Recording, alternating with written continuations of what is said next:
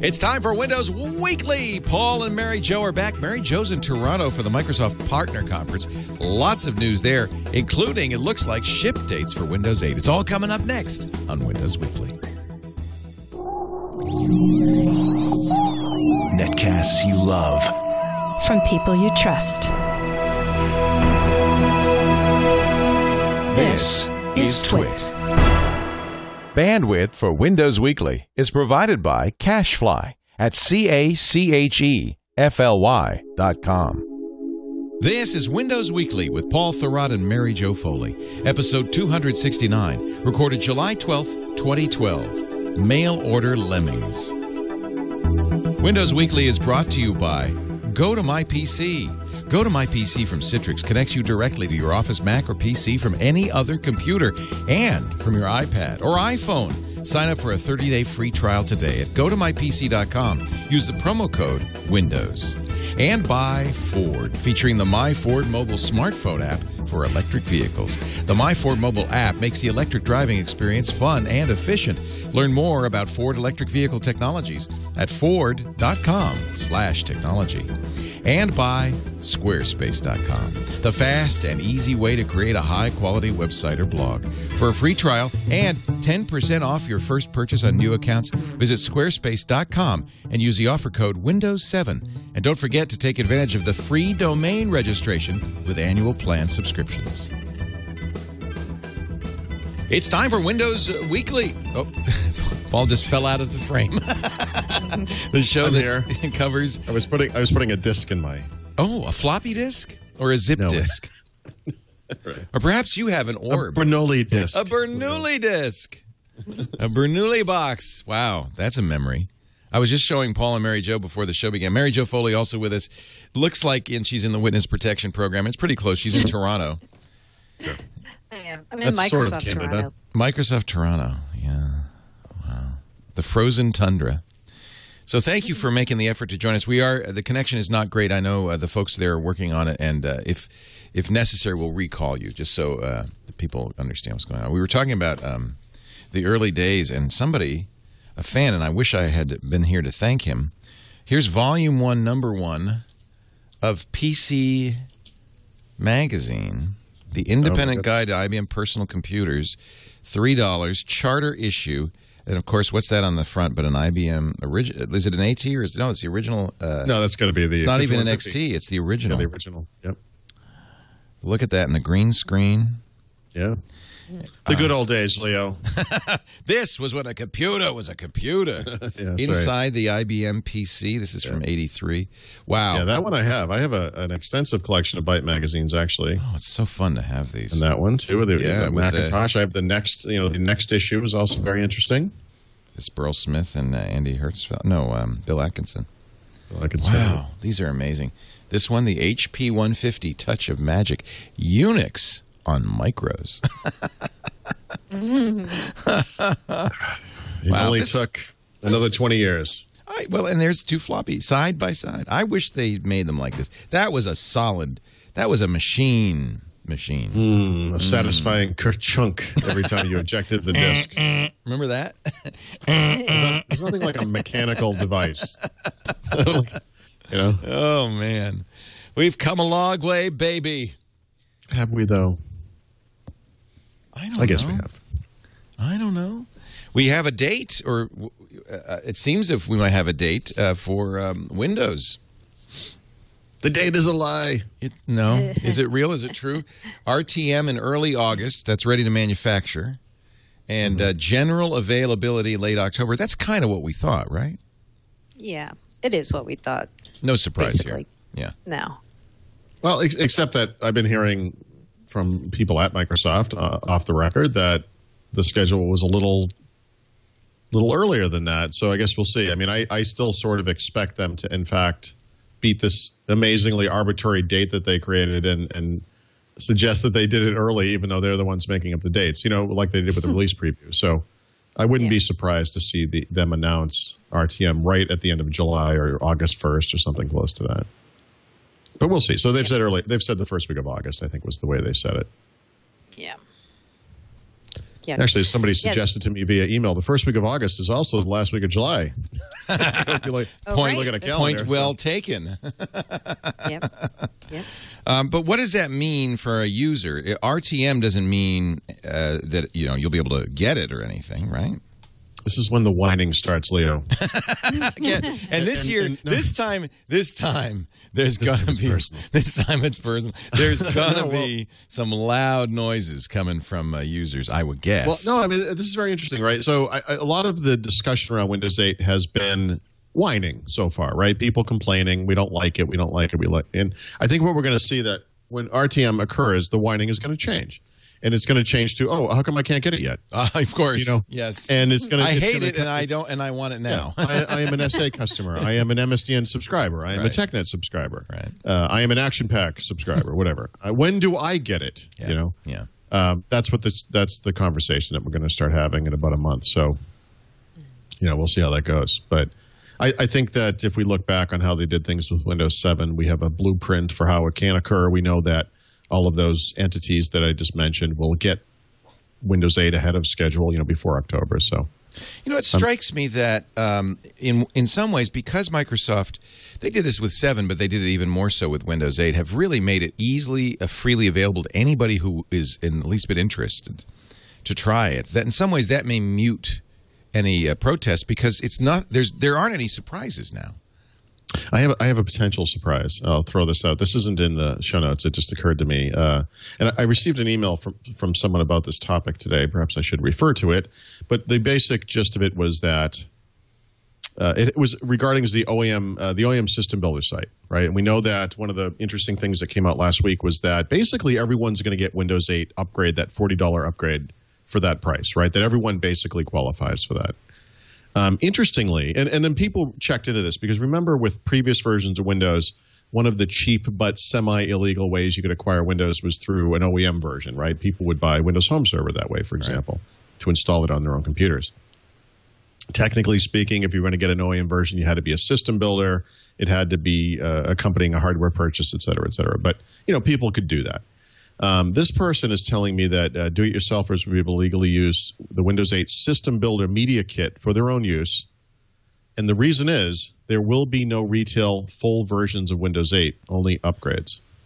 Hmm.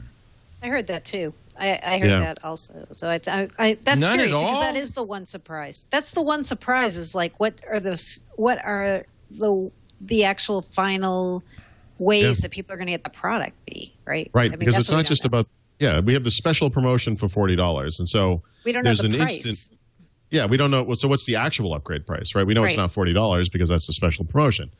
Uh, we theorized last week that maybe they could make that permanent. That would be great, but you know, I don't personally see them doing it, but I think they should. But I hope they do. But I don't see it happening. But you know, there's also a full version of Windows. Typically, maybe not anymore. That You would know. be really weird. That would be really great. Well, but I don't even understand how that would work.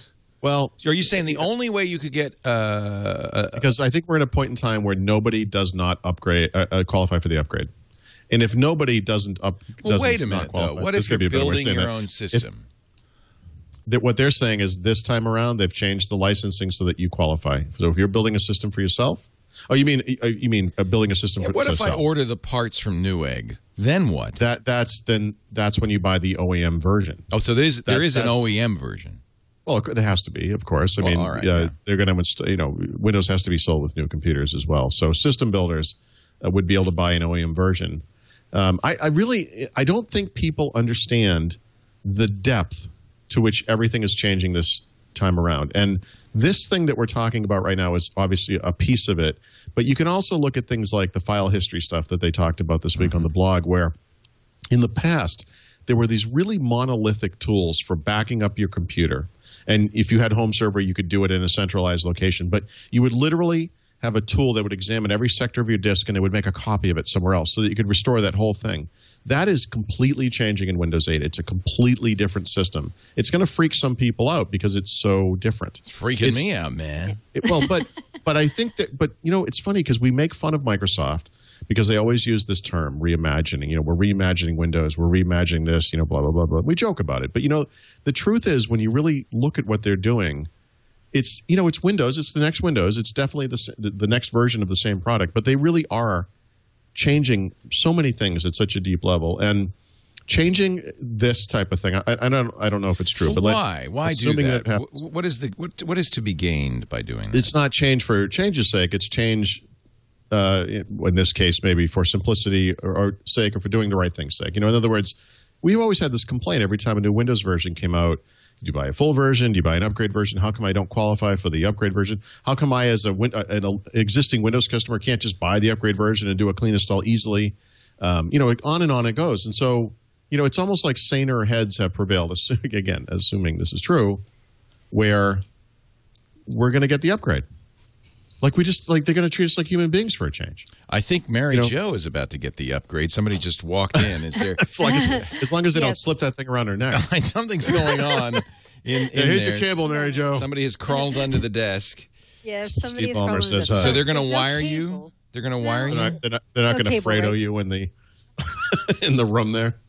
Hold on, I have to have a consultation with my friend here. All right, we'll we'll uh, pretend Mary Jo is in another country. I feel like I'm And, uh, watching The Godfather too. If she doesn't come back, Right? It's just me and you again, Leo. But uh, you know, it's I, I agree. That's in one way that's a way to say, um, "Hey, everything's different," and certainly attracts attention. Yeah. Uh, it also is making a statement, isn't it, about um, uh, how easy it is to upgrade in place. I'm just thinking, what what is the, what is the Well, you know what? Uh, seriously, I, I, you can you can make this kind of conversation up about almost any aspect of this, right? So, for example, they have this thing called a web-based installer. And the web-based installer is the old setup program, the one that's always been there on the ISO or the disk or whatever. You'd run through setup and hit hit a wizard and do a certain number of steps, and Windows would be blasted on your computer. Yeah. So they have that. Yeah. But it also has this other stuff built into it that examines your system. It does an upgrade advisor. It runs a report. It tells you what's going to work, what's not going to work. It gives you little hints. They will say things like, hey, you've got iTunes installed. You might want to make sure you deauthorize that before you do the upgrade. You know, nice little things like that.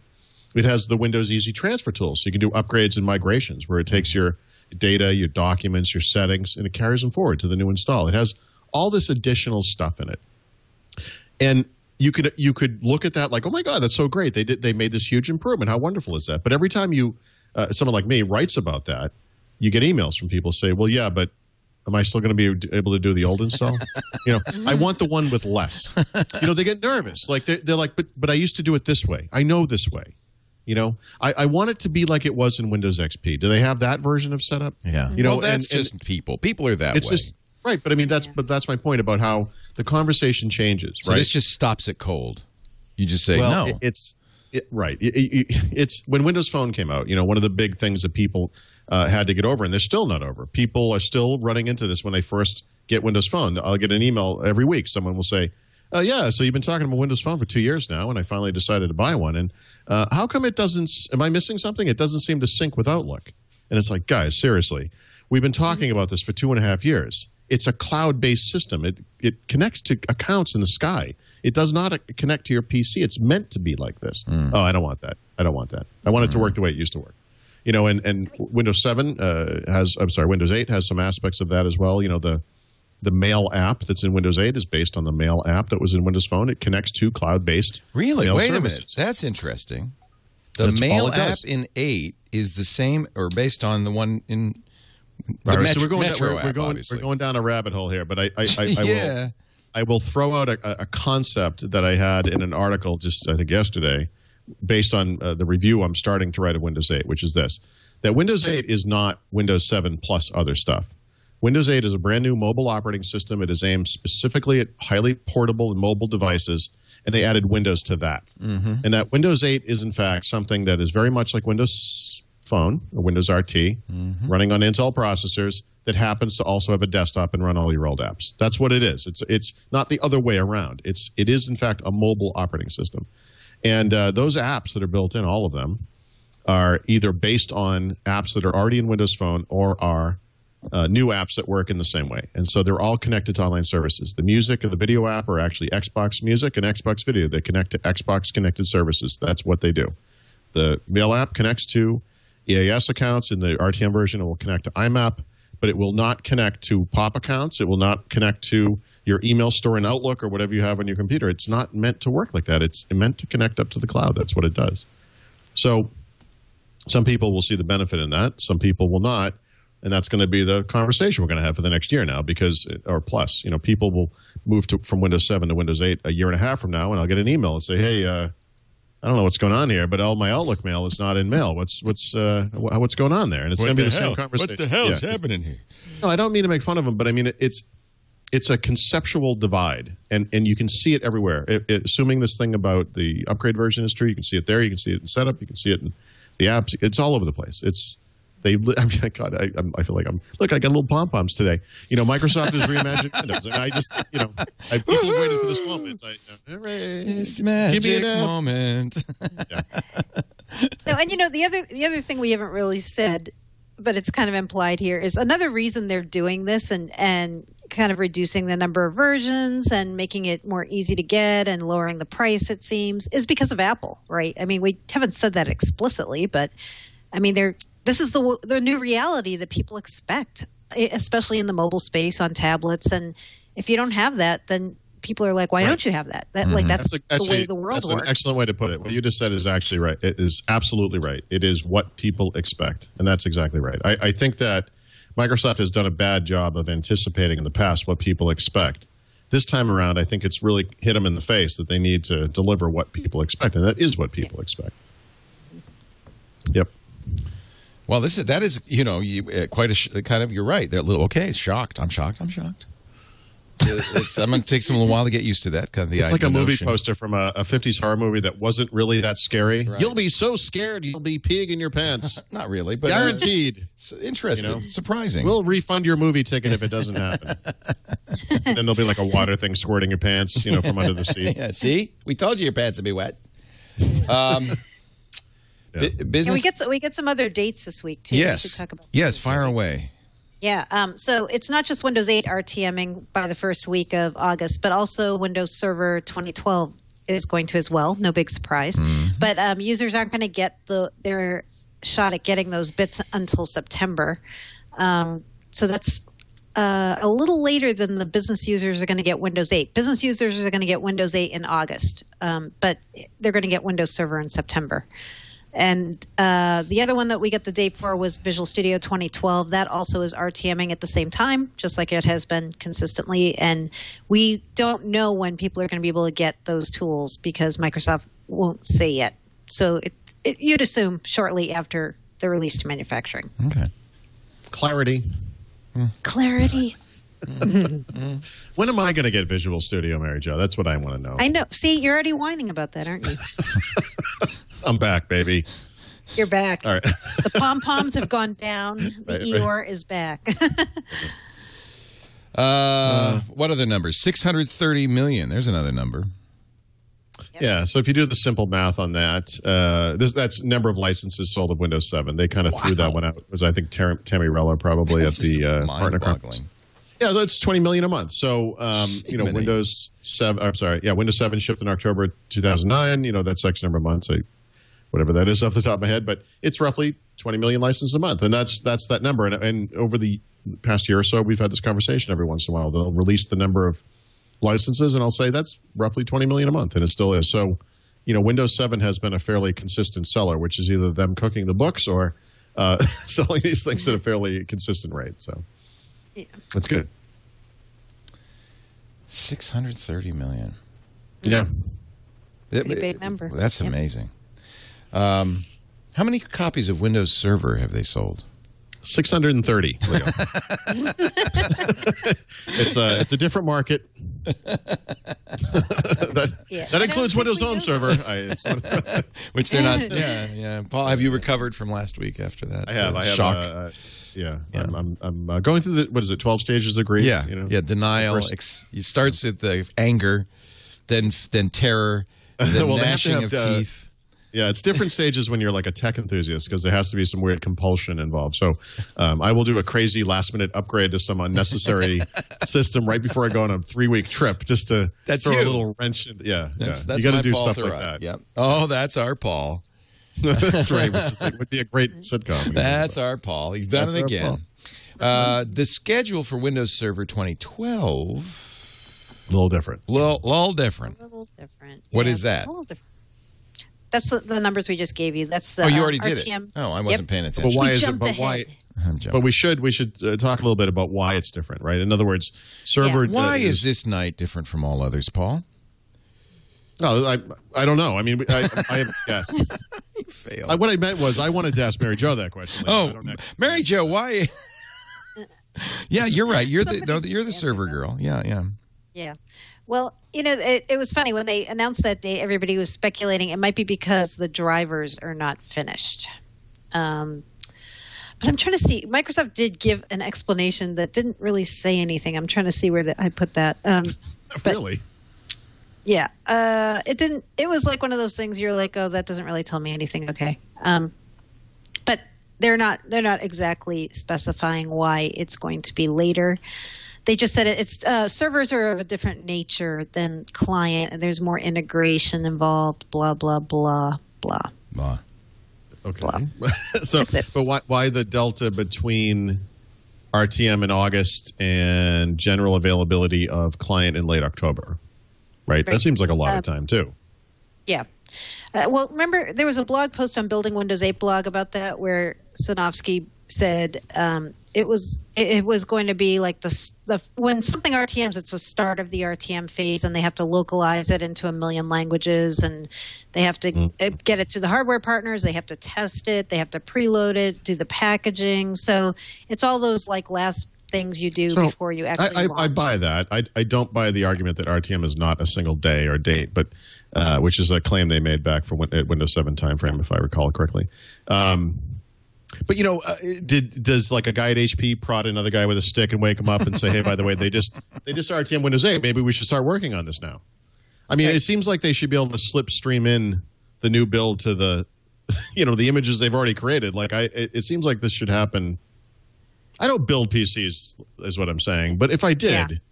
it seems like I'd want to be ready for this. Mm-hmm. It's. I'm just surprising. uh, surprised it takes a long. maybe it's going to be another one of those um, under promise and over deliver things. Like maybe it's not really going to take them that long, and they're going to go surprise, we're early. Oh God, I hope not. that was, that's interesting. Okay. you know, but the one Hmm, date we still don't have, and the one piece of information that I got asked more times than anything at Partner was when is the next build conference? Right. And Microsoft did not say that this week. They did, still have not said a date, a place. have they even have uh, they said there is a next build conference? They, well, they haven't called it build, but they said uh, at the start of this year when they killed Mix that there was going to be a developers conference this year. A lot Um, of a lot of and killing this year. a lot of death and destruction this year. But yeah, we we don't know. And the rumor I keep hearing is October, but nobody knows. Nobody will say. Oh man, Sorry, no word. October. So maybe that would be where they would launch Windows 8. You know, every company does this. I know. I still don't understand. You know, uh, Google, uh, the, um, Apple, and Microsoft, all of whom have developers conferences, are never tell you. Yeah. Like so, you could plan it or anything. They just say uh, it's re- it's always really close to the day. It's like, okay, Yeah. get your tickets now, and where they're the most expensive. If you told us six months in advance, Mm-hmm. we could get cheap airfare. I, I don't. I don't. I've just bad. And but it's not just That's, uh, Microsoft. yeah, Everybody does that. Yeah. That's been Yeah. the way things have been this year. it's Absolutely. bizarre.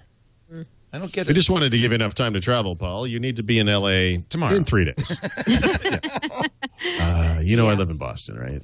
Yeah, It's a it's a very odd thing. it is. And you can't blame Microsoft because uh, Apple does it and Google does it too.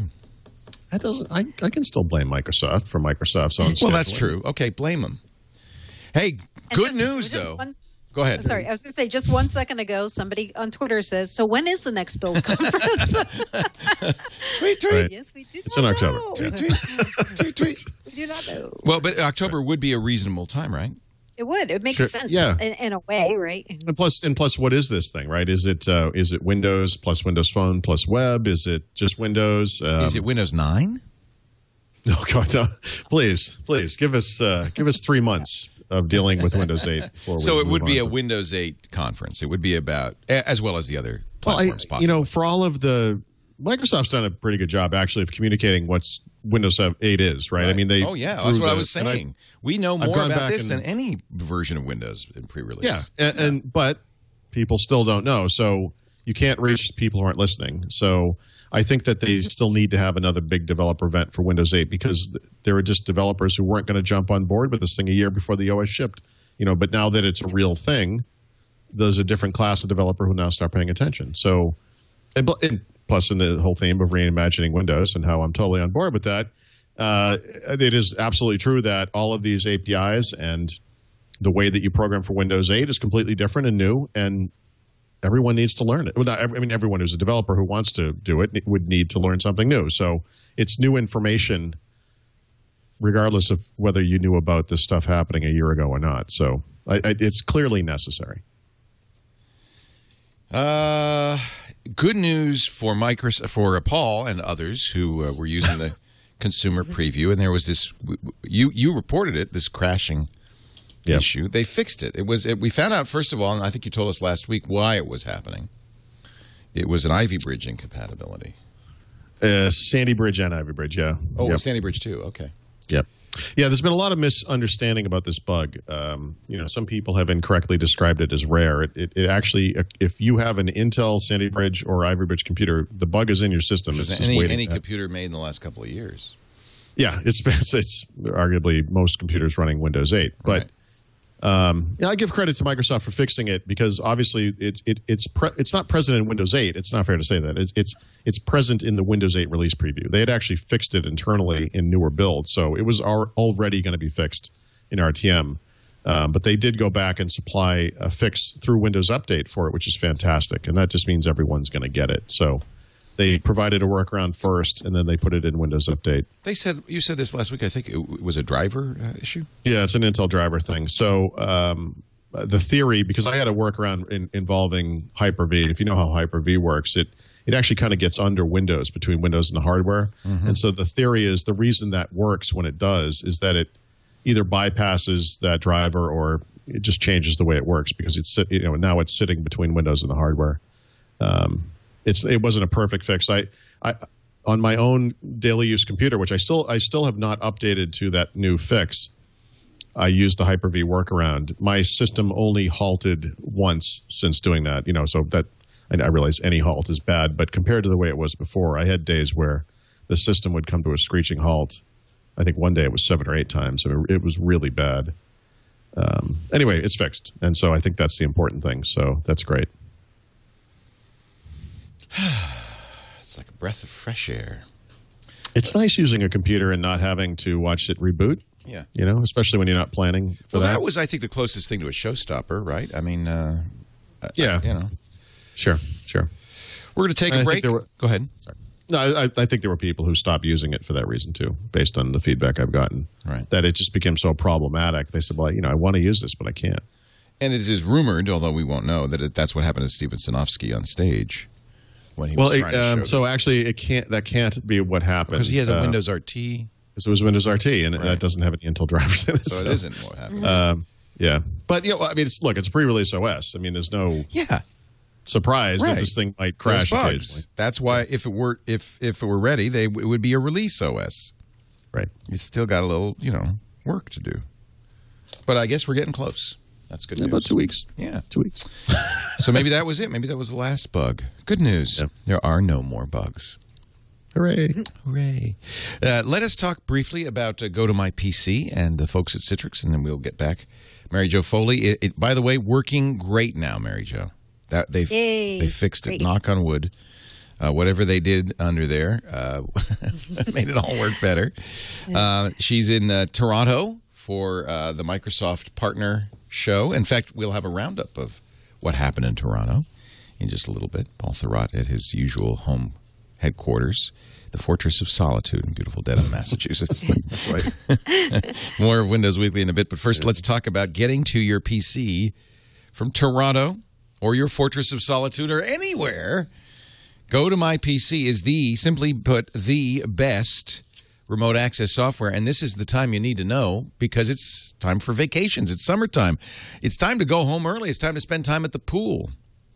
Don't let another summer pass you by because you're chained to your desktop at work. You could still get work done, enjoy the season with Go to My PC. By the way, they should rename it because it lets you access a PC or a Mac from a laptop, an iPad, or even an iPhone. So really, I don't, you know, we got to come up with a new name for this thing. It is the ultimate in remote access. It's from Citrix. You should know that name. If you're a Windows user, the name Citrix should ring a bell. These are the remote access people. With Go to My PC, easy to use. You don't have to punch holes in firewalls. It uses NAT traversal, so it just configures itself automatically. It's SSL, so it's secure. In fact, I know there are a lot of people who use Go to My PC as they travel as, in, in effect, a VPN back to your office computer so you could be at a coffee shop at an insecure network uh, at a hotel, which is the most insecure of all. You ever, you ever plug into an Ethernet jack at the hotel and you could see everybody's computers in the hotel? They're all shared. Oh, that's nice. Uh, well, believe me, this is why you want something like Go to My PC. You can fire it up, surf to your office computer with 128-bit SSL, completely, completely, completely secure. Surf the net from there. You can run any program, add, uh, send and receive email, access any document, even access network resources from your desktop, no matter where you are. At a at an insecure hotel on vacation, by the pool, at the beach, you could be you sitting at the beach with your iPad, getting work done. Just pretend you're playing Angry Birds. Go to my PC, easy to use, easy to set up, totally secure, and free for the next 30 days. Are you going on vacation this month? Now's the time. Visit gotomypc.com, use our promo code WINDOWS, and you'll get it free for 30 days. So go to mypc.com, there's the try it free button there. Click that, and the promo code is WINDOWS. For the summertime or anytime, this is the best remote access software out there. Go to mypc.com. So, Mary Jo, you having a good time in Toronto? Is the is the conference over? The partner conference over, or is it still going on? It ends tonight. Okay. Um, With a yeah, beer it's bash. the first thing I did when I came to Toronto, even before I went and got my binder and all, I went to the Steam Whistle Brewery. That was Oh, my yeah. first stop. Good good stop. How'd you like it? It was awesome. It was great. It was great. Yeah. So um, it's been a really busy partner conference. Um, there's just been a lot of announcements. Um, Ballmer was on day one. He announced the dates that we already talked about, and um, they had the usual Kevin Turner, as we talked about last week. He was, did his usual bashing of Apple and Google and VMware and Oracle. So those were all predictable. Um, but I, I thought I'd give bring out a few other things that they uh, talked about this week because there were a lot of interesting little tidbits. And um, one thing was we saw a few demos um, this week of Windows RT PCs. Um, when Tami Reller was on stage, she was demoing a um, prototype Windows RT device from Qualcomm, and there are a few other demos where they casually mentioned, "Hey, we're running a Windows RT device." Um, as part of this demo. So that was kind of cool because they there really haven't been that many demos of those devices in, in real demos. You know, we still didn't get to play with them. We didn't get to see a Surface. Um, maybe there were some here behind closed doors. they didn't but even. We didn't get that's to see. surprising that they didn't have any surfaces. No, I thought I thought we might get to see him or play around with them. I, I joked on Twitter. I said maybe we're all going to have one under our seat. It'll be an Oprah moment, and we'll all be like, uh-huh. "You all Good luck. I know. It was just wishful thinking. I'm, I'm not surprised. It didn't feel like Surface was that close to done, but I thought maybe No. at the partner conference at least they'd sh- they'd have a few. No, I know I thought so too. So I didn't I didn't see any if there were any. Yeah. Um, they they emphasized again Windows XP is really really really going to be dead in April 2014 because I think it's, it's funny because think No, you're really really dead. you're dead. You're so dead. Yeah. Because because some people kept thinking, you know what? Maybe they're going to accept life on it one more time, right? Like maybe they're going to say, all right, one more, you know, two more years. But they said at the conference, if you're hoping for that, no. And we're not even going to do any security updates after April 8th, 2014 for XP. So if you're running it, Wow. then you're you're on your own. And Steve that's- Gibson's that's- not going to be happy. He's not going to be happy. He's still using at it. all. Is But he really? oh yeah, Steve is very slow to because his his policy as a security guy is. Um, you know the stuff that's been around the longest is the safest. It's been patched, it's been tested. It's you know tri- trial by fire. But I think, truthfully, Windows Seven is going to be the platform for laggards going forward, Yeah. right? That's the I, I think so. yeah. I think so. I'll be I'll be one of those laggards until I make a commitment on Windows 8. I, you know, Steve says he loves XP, and I talk to people who say, "Oh, XP is so fast. I love." Seven to me is so much better than anything Yeah. prior. It Yeah. just, I don't, you know, and it's secure. It's locked down. They patched the, you know, the, the, the bugs, and I don't Yep. know. Anyway, Yeah, a lot of a lot of partners who were here thought we were going to get to hear an update on the Windows, um, uh, sorry, on the Office 2013 beta because Right. there's a public beta due like right around now. Everyone's like, oh, no, partner, but they didn't, and they didn't even mention it. Um, I- everybody's you're saying it's going to still be out in July. A couple more weeks left for them to drop that possibly. So that was one that people weren't too keen on. And the other one they weren't too keen on was uh, there were there was uh, we talked about this on the show last week. They killed uh, the Server on-premises product. That's one of the things that's going to be going away. And Microsoft has a lot of partners who are incredibly loyal to that product and they sell a lot of it. And they are not too happy. And I heard from a lot of them here about not being happy. They they feel like their customers aren't ready to go to the cloud, and Microsoft's advising them to use Windows Server Essentials, which is this hybrid cloud and on-premises server. But they said, "Nah, my customers don't want that." So I think it's going to be interesting to see what happens there, and if Microsoft can get them back in the fold or not back in the fold. Yeah.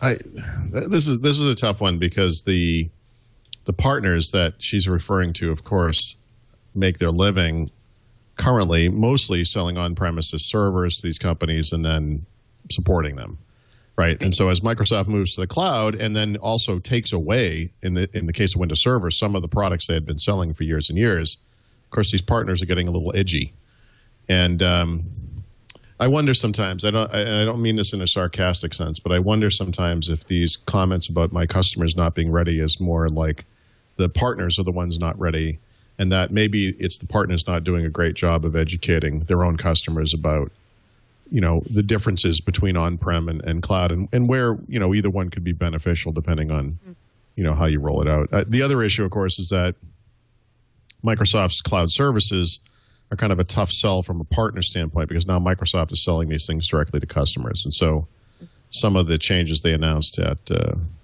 the partner conference involved offering uh, the ability of partners to offer Office 365 directly uh, to their customers, you know, by bypassing that problem. Yeah, that got that got like a standing ovation almost at the partner show because, you know, Yeah. before partners haven't been able to dir- have customers direct bill with them, and they ha- had to go through Microsoft, and partners were like, "What? You know, we this is this is my customer, not Microsoft's customer, and I I want to be able to direct bill." So they announced next year there's going to be this program called Office 365 Open. So if you're a partner selling it, you get to direct bill, and that was a very very popular announcement here.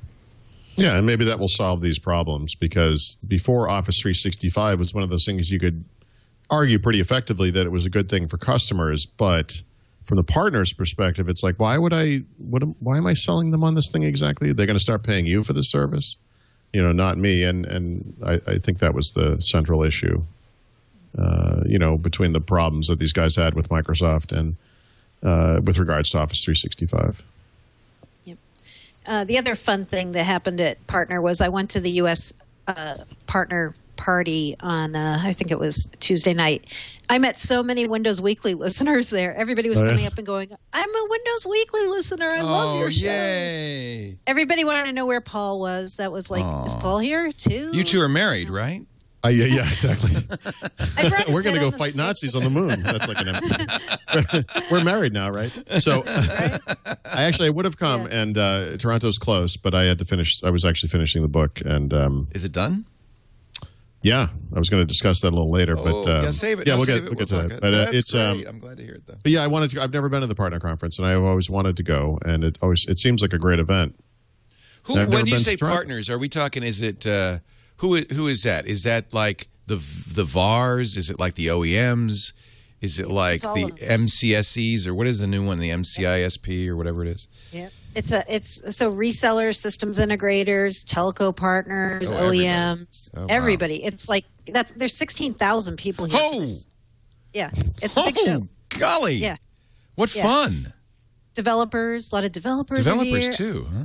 Yep, I got to be on the Developers Cube show that Microsoft does. So uh, yeah, it's it's really great because you get to talk to a huge cross section of people at this thing. Wow! I didn't Yeah. realize it was such a big deal. It is. Why are they having it in a it's big. foreign land? Yeah, tax purposes, Leo. Let's, It's a tax shelter. we'll all see you in the Canary Islands next year. Oh man, that'd be awesome, wouldn't it? do, do, is it move around or is it always in Toronto? Or? Yeah. next year is in Houston Oh, not in the summer, please. in the summer. Yeah. Oh, July, I know. well, Toronto ain't exactly chilly, No, it's been a nice week, but has it? weather. Okay, okay. Yeah, it was, but it was so bad last week in New York. Anything would be better than. Historically, though, the partner conference has always been a great show for announcements. For whatever reason, it's it's uh, it's it's often had some really good information. And I mean, this week it was mostly around the schedule for Windows 8 and Windows Server, and that's fine, you know. But but sometimes it's there's been some really revealing stuff there. Yeah. Yeah, so it seems like it's worth going to. Well, one thing Yeah, they announced is going to be a, uh, a Microsoft store in Boston in a couple of months. I know. That's exciting. I'm going to be home just in time to see it open too. I might go stand in line like a goof. You'll be the But only it's, uh, one, Paul. Come on. You think people stand in line for that? I do. Yes, I do. I do. Really? Yeah, Yeah. definitely. I can't wait to Uh, see what's new at Microsoft. I know. Now, mostly because they Well- give away tickets to concerts. Oh, okay. I'm just. I, I have my fingers crossed for Katy Perry, Leo, but we'll see how that goes. Ah, baby, you're a firework. Right. I guess I don't. I'm, I'm lucky. I know the name Katy Perry. So yeah, uh, August 24th, maybe it's it's sometime late in August. Yeah, exciting. Yeah, and they announced um, stores coming up Toronto, which made the Mm-hmm. home crowd happy, and Puerto Rico is getting a store. Um, Yep. I'm like, but still nothing on New York. Okay, no New York Well, City stores. There's no York. Wait a minute. There's no, No, Microsoft there's- store in the Big Apple. There's one. There's one in New Jersey. That's sort of. oh, that's close. No, that doesn't count. it's over the. Hey, if you have to go over a bridge, it doesn't count. Exactly. Yeah, but they did say, um, and I think this is what we're going to get this holiday season is um, pop-up stores are going to be in places Ah. where they don't have real stores. So hopefully, you know, since It'll they're going to be sell uh, surfaces uh, like a there- Microsoft store next to a pop-up Cracker Barrel, or what? No, what was Exactly. it, those? Uh, Yeah. What was that cheese shop that always that comes to the mall in the, at Christmas time? Oh yeah, Um, yeah, yeah. With the smoky cheese and this and the beef stick, with- yeah, summer exactly. sausage, and and Microsoft Surface tablet. Hickory Farms. Right there. Hickory Farms. Thank you. Good Hickory sound. Farms, thank Hickory Farms. Oh lordy, lordy. We used to have one of those in the middle of the Dedham Mall permanently. It was a barn, and they actually had hay in the corners. That's so if you have to puke after eating a summer sausage. yeah, it was the centerpiece of the Dedham Mall when I was a kid. Those summer sausages are absolutely horrible. I'm sorry, I don't don't get me on a tangent, but It's uh, yeah. yeah. Well, Governor It's Christie, just- it's like Governor going Christie is happy, right? And you don't want, frankly, you don't want to anger Governor Christie. God, the New Jersey governor, he uh, he Right. just he goes off on the They'll send Snooki after He you. will. He's like- um, oh, Wisconsin guy, where where the summer sausage originated, says they're not that bad. right. Um, right. Not I. Hickory Hickory Farms is the equivalent of that like all night pancake shop that's open. Like so, when you're drunk, you kind of end up there. It's not right. necessarily no where one you wanna chooses be, it. but yeah, yeah, No it's one- better than nothing. but you're in a mall, and Right. uh, they've got the smoked. They got the smoked cheese, which is another Smoked Gouda. Uh, Yeah. yeah, smoke. Not not not a felicitous No, combination. kind of a flimsy, flabby cheese, really, with probably like sprayed with smoke flavoring or something. You know, uh, the good old days. Let's see what else was announced at the uh, fabulous Yes. partner. You know what summit. wasn't announced was Office. What? Yep. When are they No gonna. Why are they keeping this a secret? What is what is going on here? I don't know. I think it's soon, but you know, because because okay, next what happens next week is there's Microsoft's huge internal sales conference called MGX. This is like their whole sales force goes to this thing. It's in Atlanta this year, so they always try to save a few things to have you know be the big rah rah announcements there, and it's Microsoft earnings too. So I think they're save, trying to save up some more fire for uh, the coming couple weeks. What's what's coming in the coming couple of weeks? Do they have another thing? Another well, thing, we yeah. hope we're hoping Office Beta. I mean, the rumor is Office Office Beta is like po- Yeah, so possibly the next July, the next Office right? version, yeah. And, Right, and all the associated products too. I mean, maybe there'll be something around mobile device versions of Office, uh, Office servers. Um, lots of questions. Yeah, they should around be all together, right? I mean, they they've said all these things are in lockstep. So next Mm-hmm. versions of Exchange and SharePoint and Lync and the services like Office 365. So everything's going to get revved all at the same time. It's a really big other rollout for them besides Windows. Right. which is good because I need something to turn my attention to. I've been engorged like a tick on the side. no, I'm sorry. I, did- um, I don't know why I, I, I, can't get that was out of just my head, you know. nasty. I'm sorry. Uh, think of something nice. Uh, Cinnabon. Uh, Summer sausage and a Cracker Cinnabon. Barrel uh, smoked with a. Yeah, How about Office for iOS? Any word about that? I we'll see. I mean, that's you know, I'm it's all the same. It's I'm all a curious. part and parcel of the same thing, I would guess. Yes. I, we're Well, almost at the point now where I almost wish they would not do it. Right, just to have that as some kind of competitive advantage. But I, it, I- it seems like they shouldn't. They should have it on Surface. Uh, that's that's the advantage of Surface, is it not? I, that's not the way they do things. I, I'm I, I do expect, and I've heard, I've certainly heard things about it. I I do sort of expect to see it eventually. Yeah, I think it's going to come after. Um, uh, my guess would be uh, it's going to come after Office for Windows devices, just to give themselves a little head start. Right. But I think it is going to come. I think there is going to be Office for iOS and maybe Office for Android coming. Um, not so far away, maybe like early next year or something. Office for Android. That's the first I've heard Yeah. of that. Yeah, I think uh, Android. I've seen a couple reports of folks saying, and for Yeah. Android Th- yeah. devices, um, Well, until Android tablets took off or started, you know, being. uh, I shouldn't say. How- take how do we say this? How do we say this? Until they stopped being such crap, uh, it made no sense to do it. But now I think with the Nexus Seven, uh, maybe there's maybe you could start saying, oh, uh, you know, we expect something to happen in the uh, tablet space on Android. Maybe. Yeah. know. They were really awful until then. And well, it wasn't even that. They would just nobody was buying them. You know, there's no market. It was it was both actually. Yeah. Well, that's why it nobody was was a, a chicken and an egg effect to right. that. But exactly. Yeah. Um, I like this. KT unplugged. What is that? Yeah. so that's uh, Kevin Turner, the CEO of Microsoft. He, uh, the, you have to say KT Unplugged because this guy gets up and this is his annual rant. He just gets up on the stage and he starts taking apart every Microsoft competitor and all kinds of like claims and he, he the idea is to fire up the partners but man he gets all the competitors like totally riled up because he he throws out numbers you're like who how can you even prove that number can you even prove that number Doesn't matter. throws them out there. It's No, my it number, and I'm sticking with it. Exactly. Yeah. Part, but the partners love it. They're all they get all fired up and yell and I hoot. was, and- I was thinking about that the other day. I mean, that's what Ballmer also does, right? That's what he's so good at. And I was thinking, um, and the reason I was, I was thinking about it in, con- in context of Steve Jobs and Apple. I think Steve Jobs did that at Apple. He would, in private Apple, you know, all hands meetings, he would say the most vicious anti-competitive stuff, right? Those, you know, I mean, there's the famous one about Google. They're stealing our stuff. The and it and you know, it's really probably not for public consumption so much as to just get everybody excited, Yeah, fired up. fire up. And I don't think that's a bad thing. I think Steve Ballmer particularly is very good at that, and apparently KT. I know, I was- yeah, I was so disappointed though at what they did with Ballmer this year at the Partners Show. I think they've done this before. They had him sit, do a sit down Q and A with someone Oh, um, instead of letting him just go wild and. It's just kind of a letdown because you think, oh, I'm going to get Steve Ballmer like running around doing the monkey boy Monkey boy. dance. he, that's I I think think he- I- he's become I like tarred him with better that. when he's excited. You know. I know, me too. And the the microphone went out at one point, and Oh. uh, you know, this is a gigantic arena. This is like Mm-hmm. a sports arena, and he he just started yelling. Um, Sorry, he didn't even need we- a microphone. We could hear him. You could hear him. Eighteen thousand people Yeah. could hear him. Yeah. In, without a microphone. Yeah, It's awesome. Well, I remember, you know, the one he did. They did in the Seattle uh, Superdome or whatever, where he fa- somebody was taking pictures of him with an iPhone. He picked it up and took it away from the guy. yeah. That's what you have to do, I think, at, at events like this, not in, in public, probably. Right. But when you're when you're preaching to the converted, Right. you you can't just say we're good, aren't we? You got to say we're the best. Those guys suck. Yep. It's a little bit like um, War. the Nuremberg rallies, Exactly. really. It's like but war. Sure. It's exactly what it is. They need more torches. yeah. Right. More.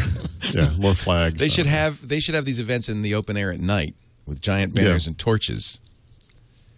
Yeah, I We'll was at- watching. we'll get there. I was watching as part of. I guess I mentioned this before. As part of um, reading this book, I started watching on Netflix, and they have uh, the Triumph of the Will that uh, Liney Rice. Yes. Yeah, they do the whole thing. the yeah. Nuremberg Rally. Oh my gosh! A, a lot of it is just it's just like the beginning is the plane flying into the city. Yeah, and it's forever and ever. Yeah. just for a kind of a historical. This is what it looked like. You know, amazing. Yeah. Maybe um, Microsoft could say you know, like the triumph of the Surface or something, and just do a. They Yeah, need a the tri- the filmmaker. triumph- the they triumph need a film. filmmaker, please. We're going to take a break. Mary Jo Foley, Paul Thurrott. Do you have anything, any, any more stuff from Tirana? Toronto. Um, just the uh, the next item on our list is also from Toronto. We'll save it and we'll do it in a moment. The next item on our list, there's a tease.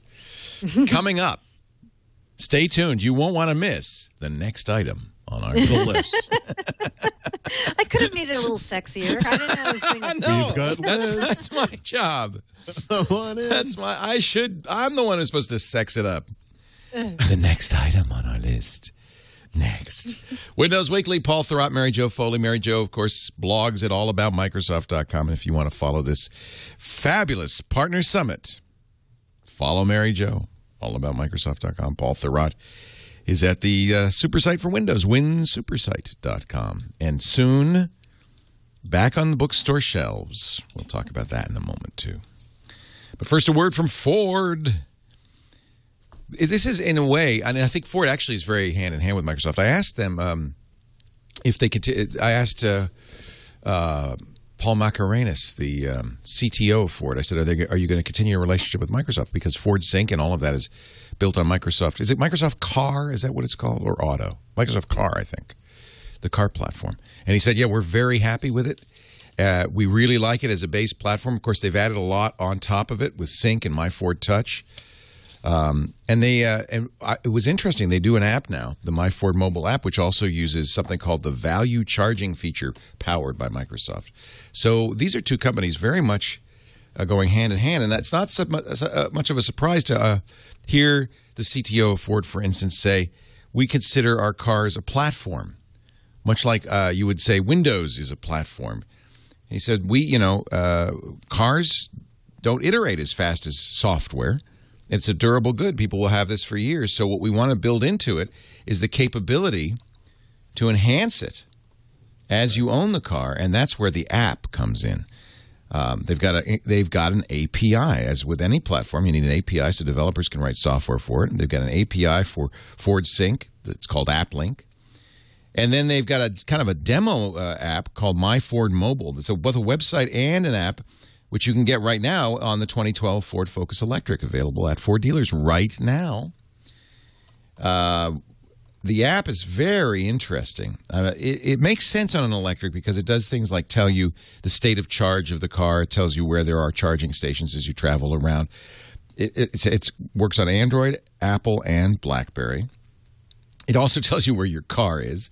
There's, which is kind of cool. There's a website that goes with it, with leaderboards, so you can compete against others to see who saved the most CO2, for instance, or saved the most money.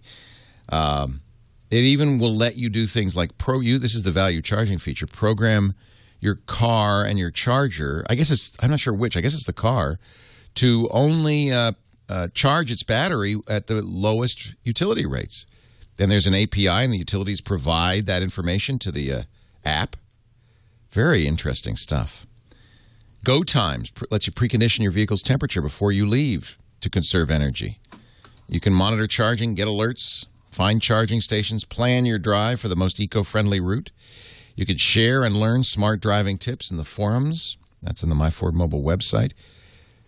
Mention, uh, monitor how far you drive and how much CO2 you save. All of that with the My Ford mobile app. So here's a here's the deal. You now you can test drive the app, but you have to do it by test driving the car. Go to your 2012 Ford Focus dealer. Any EV certified Ford dealer will have it. And bring your phone and try the app. And you can learn more about all of these neat technologies and the idea of a car as or your vehicle as a platform for for updates and so forth at the Ford website, ford.com slash technology. That's the that's the site for geeks. Ford.com slash technology. Technology is a big part of what Ford is up to. Very neat stuff. Paul Thurrott, Mary Jo Foley, I'm Leo Laporte. We're talking about, well, a lot, all things Microsoft, as we always do on the show. And uh, more news from the partner uh, conference. Mary Jo? Yes. So the um, you probably saw Microsoft announce they were buying a company called Perceptive Pixel. yeah, what is that? There's so many pixels. I know there's so many things named Pixel at Microsoft right now. It's kind of confusing. But um, so percep- perceptive pers- per- blah, perceptive just call him PP. pixel. Call him PP. PP. PP. PP. you got to just say PP. I'm sorry. they make large. They make large screen displays, like wall mountable Ah. displays. And um, what's cool about them is they're multi-touch displays that you can also use with a pen if you want. And their niche has been they're a very good complement to Microsoft Office. So people use this like as a collaboration whiteboarding thing or something to take notes or almost like a classroom thing. You could use it in place of a blackboard, a very high tech and very expensive blackboard. Um, they, their displays are really high end, like they go for eighty thousand dollars a piece. And so Microsoft bought them, and they said they bought them um, to actually fold them into the Office division, which is kind of interesting, and that they're going to be working to figure out how to bring the price down on these. So either they're going to make them themselves, which would be Microsoft making even more hardware branded as Microsoft hardware, or they're going to take this technology and license it to other OEMs, and they're going to make the displays with this technology inside. The thing that to me is interesting about Per- Perceptive Pixel is it's it's uh, what is his name Jeff Han. It's uh, Jeff Han. Jeff Han's Yep. company. So many of you first, many of us first saw multi-touch displayed. Remember that TED talk about Mm-hmm. five or six years ago, where the guy was doing all of this on a multi-touch, and he was. I think I don't think I don't know if you could say he invented it, but he certainly was the guy who first showed us multi-touch. So I'm wondering if there's also some patents that Microsoft's getting Me with too. Pix, Perceptive Pixel. This is you're basically hiring the guy who first, if not invented, first demonstrated multi-touch. Right. And I think I'm that's sure they're huge. getting patents. Yeah, Yeah, I think definitely. that's that may have a lot to do with it. And you've got to wonder, um, you know, how much it has to do with fighting other multi-touch manufacturers, Mm-hmm. if you know what I mean. Well, well, you know, the scuttlebutt here at the show was the group that was the most surprised by this announcement was Microsoft's own multi-touch group called Pixel Sense. Um, that they didn't know this was going to happen, and they were kind of surprised when they heard Microsoft bought a company that had been their competitor. Well, but you know, and the other thing um, that I uh, that I wonder, I, I had heard when Jeff Han did this demo that there, and, and, you know, I remember when Apple announced the iPad uh, about four, three, four years later. I said, "Well, wait a minute, Apple doesn't own this. Jeff Han owns it." But I then was told, I think by others, no, Jeff doesn't have. There's nobody has a patent on this. This stuff is old technology. CMU developed it. Other people developed it. So nobody can own multi-touch. I don't know if that's true though. You've got to think uh, if any company has patents on this, it'll be Perceptive Pixel. You would think so. Very interesting. And they're, they've always done big displays. Basically, what he showed was like a Surface. Yeah. And you know, Steve Ballmer has had their display um, in his office since February. They told me, and so people have gone into his office and seen it, but they thought it was a lot of people thought it was the old Microsoft Surface. They didn't know it was Perceptive Pixels technology. Which Oh, is kinda interesting. Yep. But it did. I mean, it had every, it had pinch. It had uh, all of the moves um, that we now have later come to associate with. Um, and it was it and, and in fact that's what Perceptive Pixel did. They did. Uh, CNN used it. Uh, a lot of people used that. It was always a big. It was always big. It was never small. So that's really intriguing. Yes. that they that they hired them. I find that very uh, very interesting. Or f- bought them. How do we know how much for it was? It was for? No, they won't say. Let me see. I think I have. Um, think I have. I've found Jeff's TED talk here. If I can. Glad to be here today because I'm about to show you some stuff that's just ready to come This was of the 2006. literally, and This is the first time I'm anybody really had seen this are gonna be amongst the first people to see it in person gesture-based because I really, really think this is going to control. Really February change the way we interact with machines from this point on. Now, um, Boy, was he this right, is a too. rear projected drafting table. It's about 36 inches wide, and it's equipped with a multi-touch sensor. Now, normal touch sensors that you see, like on your kiosk or interactive whiteboards, can only register kind of one point of contact at a time. This thing allows you to have multiple points at the same time.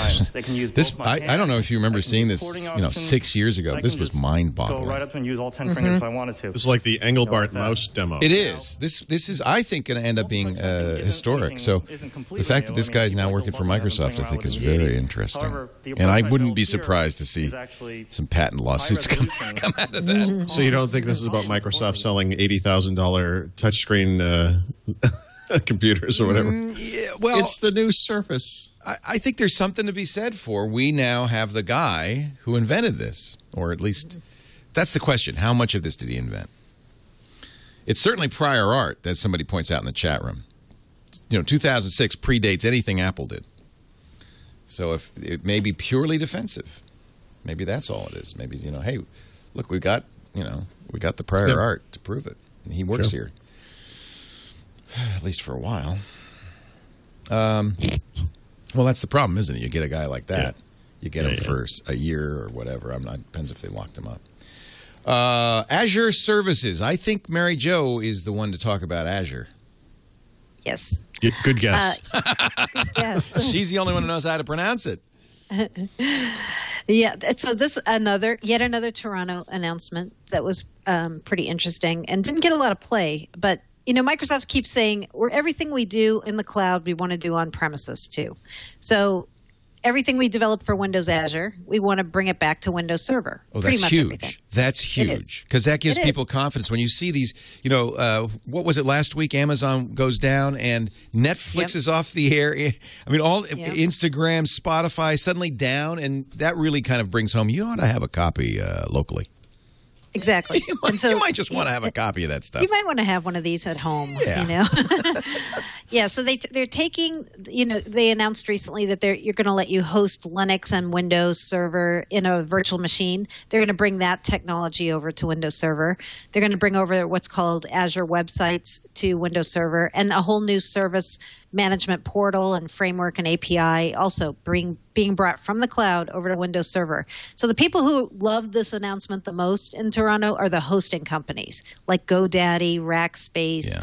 because they want to be able to offer these kind of capabilities Oh. to their users. oh, Like right now, Azure is only from Microsoft, but if you you're, they're bringing more and more of Azure stuff to Windows, so that people who host Windows in their data center Could can now that. have that for their customers. and does the license allow that that you could then resell? It does. Yep. Very interesting. It's more than just Very saying, "Well, I have Azure in the cloud, but I also have Azure as a backup." It's also saying we could do services Exactly. ourselves. Yep. That is fascinating. It was. I think. I think on your new enterprise show, they're going to like that one too. I bet you Padre SJ is all excited about showing Yep. off how to do that. Yep. Uh, and this one's definitely for Paul. Bing Fund. wow. Actually, I, I don't even know what this is. I just so- like saying the word Bing Fund. Bing. Bing. Bing fun. Is this Yeah, another I- I MJ? know. another one from Mary It Jo? is. I know. You've been I busy. lo- I loaded the show notes in my favor this week. As well, I- I- right, I which have is like actually a nice way of saying I didn't do much at all. Paul just took this it. Well, he, he was busy on, uh, Yeah. doing something else. I think Paul was only writing his book, wasn't Yeah. he? Doing I was a little I was a little busy, but A I, little preoccupied. And you were at the partner conference, Mary Jo. So I was. I was. Yep. Yeah. So this this isn't one from the partner conference, but um, it was one that leaked out right before the partner conference. I wrote about it on Sunday, and so what Microsoft is doing is reaching out to startups. So if you're a startup and you're watching Windows Weekly, you may want to check this out. Although only U.S. startups to start.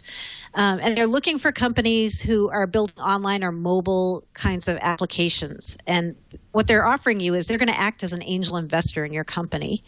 Um, they're going to help you build your app. They're going to subsidize um, your use of some of their APIs, their Microsoft Research technologies, and they're going to basically hold your hand, help you design the app, and kind of get you started up. So it's like they're being uh, both an incubator and an angel fund in one. And it's called the Bing Fund, and it just launched right before Windows Weekly began today. That's neat. So Would you go up to Redmond, as these as these incubators often do? They say like Y Combinator, you have to come to San Francisco, and it's startup class as much as anything, as much as Yeah. money. Is that how they're Yep. going to If do it? you're, if you're local, they're saying come and work with us in our own place. And if you're in the Seattle area, we want you to come to our co-work space in Bellevue and That's work great. with us. I think that's very valuable. Every every uh, Every startup I talk to, every founder I talk to says that uh, often that these are the best ways to uh, get into this, and they get And a, that- they get a small stake in it. They do. Yeah. They do. And Not- not usually one of the guys you'll get to work with if you do this is Rahul Sood, I think is how you pronounce his last name. Um, he was the founder of Voodoo that got bought by, by HP, and then he joined Microsoft. And froze solid. I froze solid. He froze solid. Voodoo, Voodoo. He was uh, founded Voodoo Yes. PC, and then Remember joined- Voodoo PC? was a it was a computer manufacturer. Oh yeah, yeah. They were they became part of HP. That Part of yeah, it was a gaming. yeah. It was gaming uh, platform, I think. Yeah. Yep. Yep. Cool. Uh, let's see here. We got. Uh, is that that's pretty much covers our news? You want to uh, you want to get to our picks and tips and all of that Yeah, stuff? but before we do, uh, Mary Paul. Jo, do you need to leave soon? I do. I do. need to So leave now you wanna, or when? Do you want to do your picks before you go? Uh, do you want to do Fast yours first? Sign up. Yeah. Do you Okay. guys mind? Go go for Yeah. it. Go for it. Enterprise pick of the week, I decided to make Office 365 the enterprise pick of the week because we already talked about you know this open program where they're going to let partners bill directly now and there's um, I'm, i haven't written about this yet but there's also something coming i believe called the office 365 fully packaged product this may be something out next year What the hell is that? FPP. well, listen to what this is. It's kind of weird and, and intriguing. You know how um, you can get an Xbox Live points card now at retail? Yeah. yeah. This would be an Office 365 card Oh. sold at retail. What a great gift for. Uh, Yeah, Mom or and dad. The stocking, and the Stocking stocking stuffer. Holiday season. I'm giving you know? six months of Office 365. Yeah, it's kind of. I'm, I'm like, okay, let's see how that goes. Uh, that's as, that's as much about it as I know, and That's um, bizarre. I'm. bizarre, Yeah. bizarre, a bizarre enterprise pick of the week. Yeah. Yeah. FPP. And then uh, code name pick of the week is Katal. And this is funny because this I don't know why they picked this as a code name, but or even what Katal is or means or the significance, but it was a code name I heard maybe like a year ago and I, I never knew what it was. And I found out this week that remember when we were talking about the um, enterprise services coming over from Azure to Windows Server, the two parts uh, that are the service pieces, the um, service framework and the management service portal, those two things were codenamed Katal. So I heard about this, I don't know, like literally like a year ago. So now I found out t- this week is when Katal has finally blossomed into the world. Yep. Hmm. Katal has So those are- blossomed. It sounds like a, I don't know. like What a is skin, Katal? Skin condition. It must be a mountain.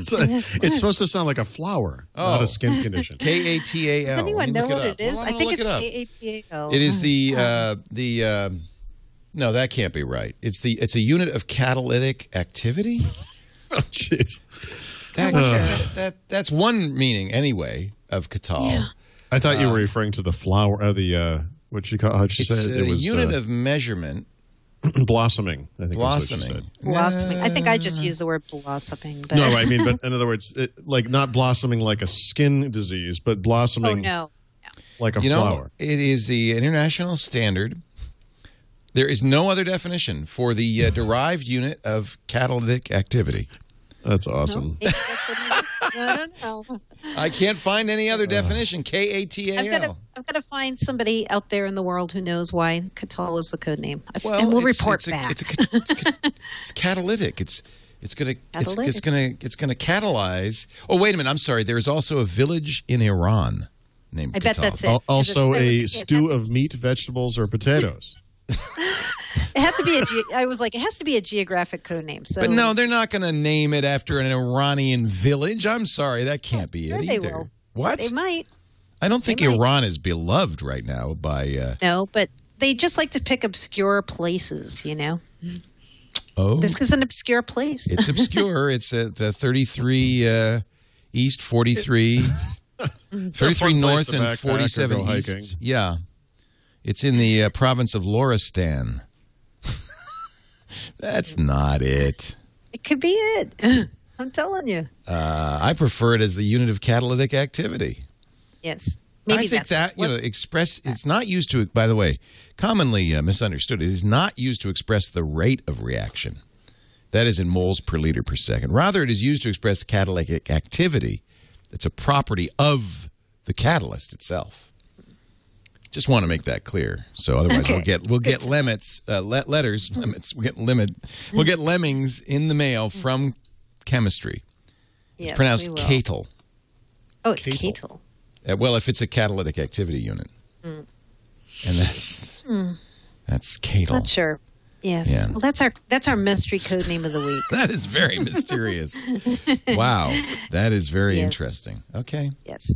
So I have to zip off to go to the airport now. fly away, Mary Jo. Fly Yes, away. Thank you for putting up with my bad sound. Not at But all. You Thank know you what? to Microsoft for helping. Yes, the, and it got much better. So we thank them for Good. fixing that. And have a safe trip, and we'll talk to you next Thank week. you. All right, Mary Okay. Jo Foley, all about Microsoft.com. Bye. Bye. See you later. You're just going to sit there? Paul, let me Closing ask down my PC. Oh, okay. She's shutting it down. Paul, let me ask you. You finished the book? Yes, sir. I did. What do you mean finished? What does that mean in This this, time I really mean finished. like you're not going to write another Well, no, word. I, I, you know, so for this book, because of the tight schedule and because of the fear that Microsoft could at any time could just drop this bomb and release something, you know, right. um, You we- want to be out day and date the same time the, the Yeah, we, we did a lot of. Uh, we wrote the book, you know, so we wrote what, what amounted to a 650 page book based on the consumer preview and some interim builds after the consumer preview. So sort of not quite release preview. And um, it's weird because because of it because of the way it happened. When you write it like that, you feel like you're done. Yeah. So there was a 30 day period there where I did nothing for the book, basically, because I, it's just hard to. I don't know if it's like a psychological issue, but when you write that much and you get that much done and you feel like you're done, uh, you don't want to do it anymore. You know, Yeah. you're done. And then it was really hard to get back into it. But now that the release preview has come out, we've in uh, more recent builds too. Um, we know really what's uh, going to be in the final product. Um, you know, we had, we had to finish it. So for the past uh, three weeks or whatever, I've rewritten the book, and it involved going back to the chapters that have now been edited by f- three to four people, depending on the chapter, and uh, answering queries, but also.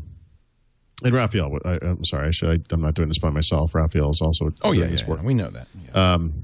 Well, I don't mean to take all the credit. I mean, I, but uh, you know, and then you have to go and make changes because things have changed. Right. A lot of the apps it, it have changed. Obviously, the de- for the desktop, you know, the the the design of the desktop, the look of the desktop has changed. Um, that's just a screenshot issue for the most part. There's some language differences. You know, Windows Explorer has become File Explorer and so forth. But the big changes are in the, the chapters that deal with the apps.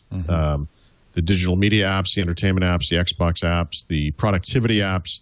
All of these things have been updated very dramatically since the consumer preview and, and actually since the release preview as well. And we know that with the apps, it's a slice in time, you know, that these apps are going to continue to be updated. And that's a little bit of a problem too with a book. Um, and so you have to kind of present it as look, I mean, at the time that this thing was completed, this is what these things look like. But it's almost a certainty that what you're going to see is a superset of what we're describing because these things are just going to continue to improve. You know, so for example, I mean, um, up through the release preview, you could uh, log in with a, a Hotmail, uh, an Exchange, an Office 365 type account, Google, Gmail, and Google Calendar. You know, with the productivity apps, but they've added IMAP support. So, uh, for example, to the Mail app, and so there have been some interesting changes like that. But the the next, uh, I actually finished the final chapter yesterday. Today, I did some work on the appendix and on the you know some front matter type stuff. But um, the next step, of course, is that the publishing company is making the book, and so we'll have these probably PDF based versions of the pages, which we now hold on to until the product RTMs, and then we can make sure that that RTM version of Windows 8 doesn't include any surprises. Um, which Good news it is could. it feels like it's it's pretty done. I remember last Well, for the Windows 7 yeah. book, you had to redo all your screenshots at the last minute. Yeah, and so I, I, as part of this three week process, um, and I actually I meant to ask. I haven't, I haven't asked it. I'm not. I'm not sure where this book comes in. One, one of the big changes I made was that some of the chapters had some information about legacy features that were in previous versions of Windows because I felt they were important for some reason. We had a big chunk of information about features that were new to IE9, for example, but weren't in the Windows 7 book because IE8 came with Windows 7. I took all that stuff out because we're we're really running up against the page limit and we want this book not to be humongous. And so, as part of this editing process, I knew that I would have to add a lot of information. So I succeeded in cutting out all of the information about anything. There, there's literally, well, there's probably a, a mentions here and there, but there's no, there are no sections of the book that deal with stuff that used to be in Windows. Like everything in this book is brand new, um, which is very Wow. interesting. in- Wow, the first wow. one. It's But just- that it's what a change it is, isn't it? yeah, there's so much stuff. I mean, it's really amazing. Um, so there's a lot of work, but uh, you know, this is the second time with this book now. I feel like I finished it, um, but this one's is sort of true. I mean, I, I know that we will have things that we we can make changes. I mean, we know this, um, but we're not going to. You know, there's not going to be a surprise new chapter or um, you know any any huge changes. So so it's good. So that you know that's it's it's basically sitting and waiting now. You know, because we we do have to check it against the final version. Right. There's, there's always this fear Yeah. because it's happened that Sure. they're going to bite us. Oh, and I meant to say, so as part of the the rewriting, I, I retook every single screenshot in the book, whether it needed it or not. We just I just went through and just did it all over again. Oh my gosh. Um, and it involves a lot of editing. I mean, there- there's um, there's it's a it's it, and it's convoluted. There's weird setups you have to do. You know, there there are uh, maybe there's a very small section in the chapter we have about user accounts and security where you're talking about domain accounts, and that means you have to set up a domain account. You know, it sounds like a little thing, but it means you have to have a domain, Right. and it means you have to uh, actually be able to log into it. It actually has to work and be connected, and you know, and you have to be able to show how these things work. right. You know, so right. anyway, um, so that's done. But that leads me into my uh, the the tip I have this week because Well, don't do it yet because I have to take an, Oh, I'm ad, sorry. an ad break. So, Okay. But that's I just wanted to get that update while Mary Jo was gone uh, on the book, and I'm really pleased for you. And uh, I will I'm- open a I'm bottle really- of champagne and drink it in, in its entirety yeah, yeah. in your honor. it will be nice. I, I should just as a final thought on this. Um, normally, I you know I work seven days a week. I if anyone who follows my site knows that Oh, they can come on a posting. Yeah. yeah, they can come on a Saturday or Sunday, and I post. And uh, last weekend, I, on Saturday and Sunday, subsequently, I tackled each day one of the the two biggest chapters in the book, and so I actually didn't really write very much at all. I didn't write anything on my site on Saturday, and then I just posted something small on Sunday. But um, these chapters are it was the productivity apps chapter and the enter- what I renamed to the entertainment chapter, the Xbox uh, entertainment apps.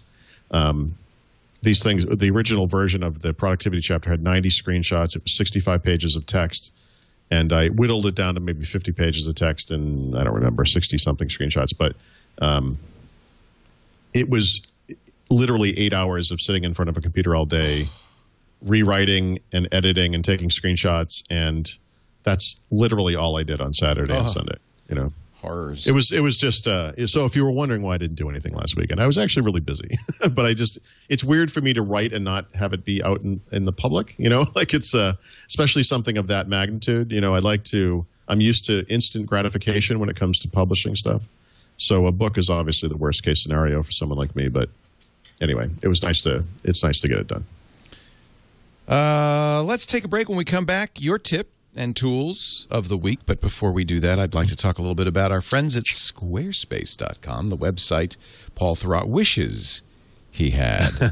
Squarespace is the best hosting, plus the best content management system on top of it. So what a what a good combination.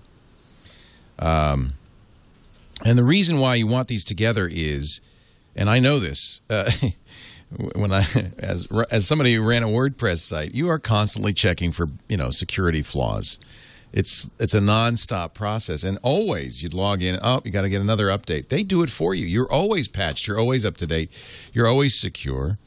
I could tell you it's the best hosting in the world. We we've been uh, running uh, uh, tests, and it's very informal, but uh, I can do it at any time. In fact, we could do it right now. If you go to our Squarespace site, inside twit.tv, inside.twit.tv, that's our kind of in-house blog site. Um, if everybody goes there at once and tries to bring it down, you can't. Now we can bring down. I can bring down any site in the world. We do it all the time uh, by just sending people there. But Squarespace is this. What happens is they're they're using this great server technology, Java based, interestingly enough, that will automatically uh, turn on the bandwidth as you need it. You gotta you gotta give it a try. Squarespace.com. So now here's the deal. It's very simple to do. Go to squarespace.com right now. You don't need an offer code or anything. Just click that green try it free button. You got two weeks free to use the uh, Squarespace tools, the iPhone or the whoops, that's the wrong one here. The iPhone or the Android app. You could use the um, uh, the stats. You can use the the import engine. In fact, I would recommend this if you've got an existing WordPress typepad, uh, blogger uh, site. You could import all your comments, your data, everything, and and really see what it looks like with a fully populated site. And then if you decide, hey, this is pretty nice, this is pretty sweet, use all those custom templates, the 300 plus Google fonts, the great stats, the form building, all of that. Then check out this pricing. This they've redone the pricing and it's really affordable. Eight dollars a month when you buy an annual plan for the standard, but I, w- I would suggest you look at the sixteen dollars a month. That is such a good deal for unlimited bandwidth, unlimited storage, unlimited pages. They even do your domain. They hook you up if you buy an annual plan. Give them a custom domain domain name, no charge. They'll register it and attach it to your account. If you're a, a ham, for instance, you want to have a site for your uh, your uh, call sign. You know w6twt.org. You just tell them that they'll hook you up, set it up, and then your Squarespace site is that site. And all of this has a special advantage when you use the offer code Windows 7, 10% off any purchase. Buy the annual plan for the most savings. Windows and the number 7, the offer code for the month of July. Windows 7, squarespace.com. We love these guys. They do great stuff. And they make Paul gnash his teeth because he's he's got to So- use something else. We've been using DotNetNuke for a while. And Oh, that's, that's not bad. it's no, it's it's bad. And trying to be nice. before that, uh, my Yes. company used uh, Cold Fusion, and- I never went to Cold Fusion because well, you're a was on- Delphi guy, so that's the same, isn't it? I mean, okay, yeah, fair enough. But I um we were I was I had my own site, my own uh, stuff was on ASP, Microsoft ASP. Uh, so we kept it on there for a while, and then we moved it to DotNetNuke. But we're actually switching to something new. I, I forget the actual name of it. It's the it's the CMS system that um, Forbes.com uses, and we call it Pisces internally, but it's it Oh. actually has a different name. is it Um, better? Are you happy? it, it, it has to be better. So I haven't switched yet, but Oh. my site because I've, I've basically bitched and moaned so much over the past two years, um, we're going to move my site first, and so uh, look, now if that the Forbes uses it, it has to be good. it actually looks good. So Yeah, Forbes- I, I have yeah. I have hopes. I, They, you know, they do a lot of content. Um, Good for now you. that the book is done, I, I can turn my attention to a, number of things that ha- I've been sort of putting on the back burner. But one of the things I'll do is uh, I've got an article. I want to I want to sort of engage with read- readers a little bit and see what they're looking for. I, I have an idea for the design, a a very simple, simple, simple design, um, but hopefully it will be a better site. You know. Um, so anyway, we'll see. It's it's not Squarespace, but hopefully it will be it will be better. Well, good luck. Your tip, of the, your tip of the week, sir. Yeah, so it's it's two things in a way. Um, you know, looking back over the Windows 8 book, um, you know, there's some obvious recommendations around. You know, with Windows Phone, we talked about how you had to have a Microsoft account or what we used to call a Windows Live ID, and that how po- properly configuring that account was kind of your key to success. And that's as true of Windows 8 as it was of Windows Phone. In fact, it's arguably more true. You really almost need to have this account uh, to use Windows 8 to its fullest. And so, actually, I didn't put that in the tip, but now that I'm speaking my way through it, maybe that should have been a third thing. But two two things about Windows 8 that I think are just general statements, but I, I just having an understanding of these things will make for a better experience across the board. Um, one of them is that Windows 8 has a bunch of new keyboard shortcuts. We talked about this stuff, but a lot of them are Windows key plus something, you know.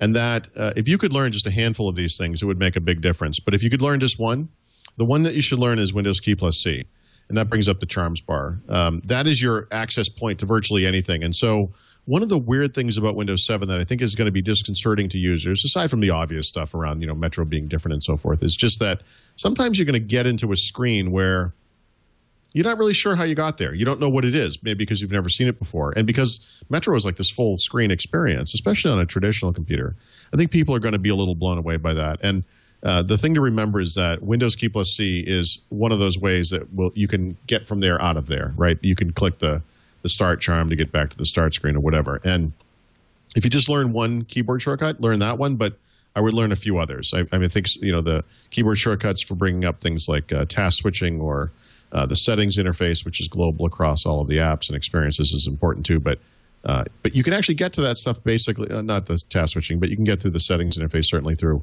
through Charm. So learn that one. I think that's a big deal, and that's gonna that will solve a lot of problems for people who are confused about Windows 7.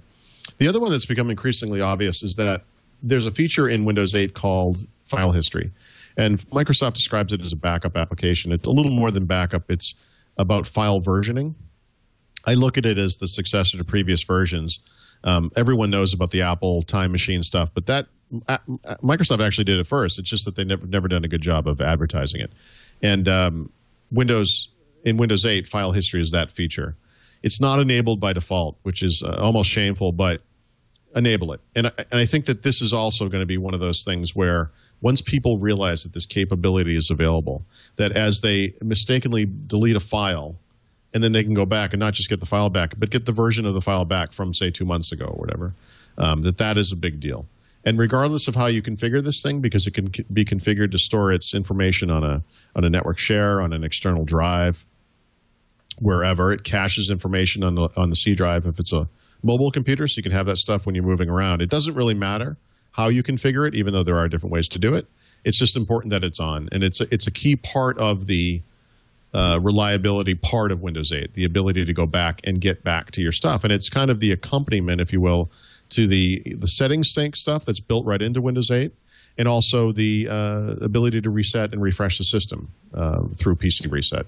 Um, and so I think those things together combined to create sort of a d- disaster recovery solution of sorts that can really get you back up and running very quickly. So keyboard shortcuts, uh, Windows key plus C being the big one, and then just enable file history. It's one of those things I, I wish they actually advertised that the first time you boot it into Windows. It should tell you that right away. Do this.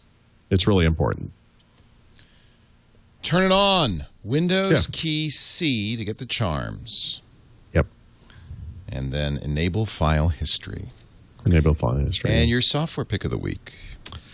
So I, I, actually have two now. I added one. I don't know if you can see the the addition, but uh, the first one is Windows Server 2012 Essentials Beta. Microsoft released this, I think, yesterday.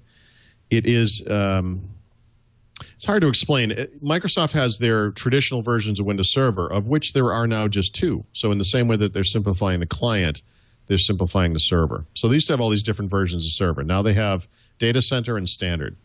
Standard is a little more expensive than it used to be, but it takes on some of the features that used to be exclusive to the higher end versions, uh, including Enterprise Edition.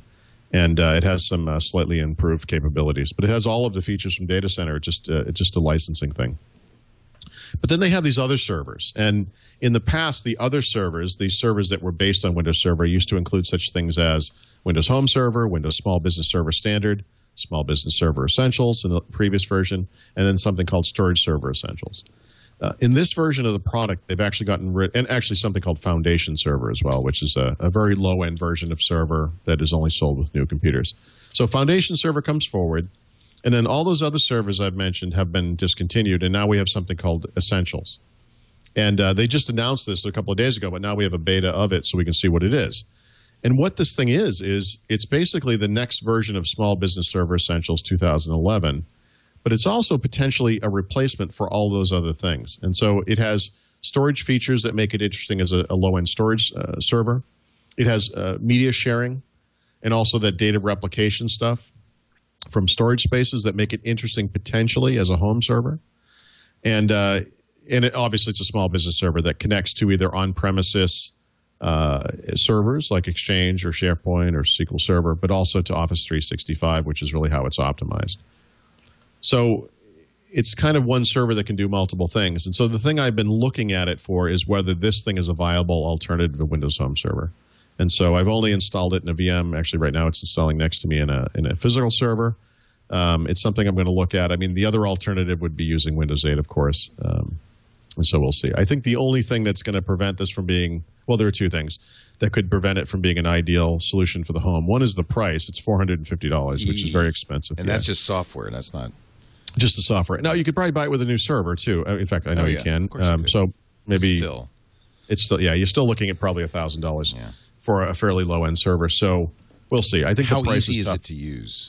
it's that's the thing. So the the second part of it that m- makes it a little less attractive is it's a domain based server. You know, with Windows Server Standard and Data Center.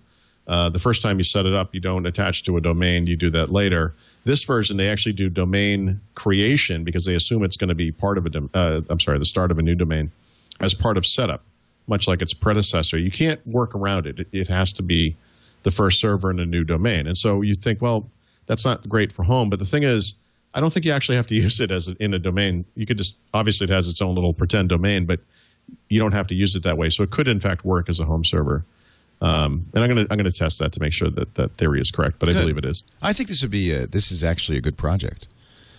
Can Yeah, you can it's you use uh, Windows Server 2012 as a home server? It, it has storage uh, spaces just like Windows 8, which is fantastic. Of course, um, it, it it has a server feature called the Microsoft Online Backup, which is potentially very interesting, an online backup service to the cloud, which they don't offer on client. Uh, curiously, um, yeah, maybe we'll see. We'll see. The other one is that Microsoft just, while we were recording the show, released a new version of SkyDrive uh, for Windows. So this is the application that you install in Windows. Um, I think you should. I'm gonna. I have a. I'll have a blog post right after the show um, about it. It's not a big deal. A lot of it is under the covers. Changes is some nice. Uh, it's got kind of a nice new look to it, a little more Metro-y look, you know, to the little pop-ups you get over the tray icon and so forth. But um, SkyDrive for Windows is a big deal, and it's weird because it's like this simple little application. But if you use Dropbox, you kind of understand the notion of I save stuff to my computer, but I'm also saving it to the cloud at the same time, and that's what this is for Windows. And I, I I'm really switching everything over to this. So, for example, my on my personal computer, my, my documents folder is actually in SkyDrive. It's not just on the computer.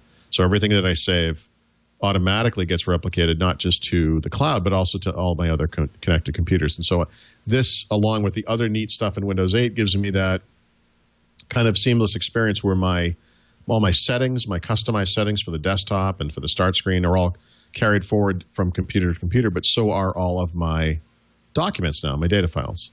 And eventually my music and my videos and all that stuff. I'm not there yet because SkyDrive doesn't natively support that stuff yet, but it will. And, you know, I'm obviously setting it up so that when that happens, I'll be ready to go. But it's, um, you know, it's getting there. You can see, you can see how that's getting there. So that's a, it's free, obviously. And uh, anyone using Windows should be using this Yeah, or Mac.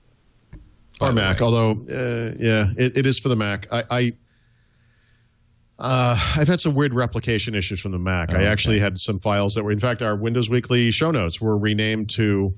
Uh, it probably just says Windows Weekly dash Paul's Mac Mini.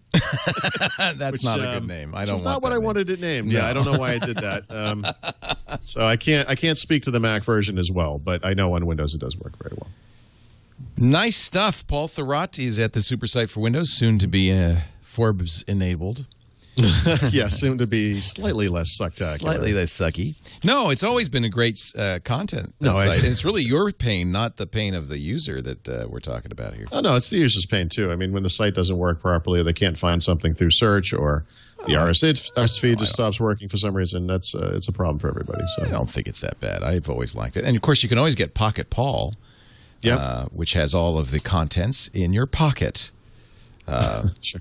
Yes, for Windows Phone and yes, iPhone too. Yep. Uh, winsupersite.com. Paul Thurrott, Mary Jo Foley will be back next week at the same time, 11 a.m. Pacific, 2 p.m. Eastern Time, 1800 UTC on Thursdays. That's when we do the show live. If you could be here, we'd like it if you're here live because then I could talk to you in the chat and so forth. But if you can't, don't worry. Don't worry. There's we no make hard on, on-demand versions available almost immediately after the show uh, on uh, all the all the places iTunes, uh, Windows, uh, what is it, Zune Music Store System, Whatever the heck that whatever thing the is. hell that's called, and everywhere else better podcasts are aggregated.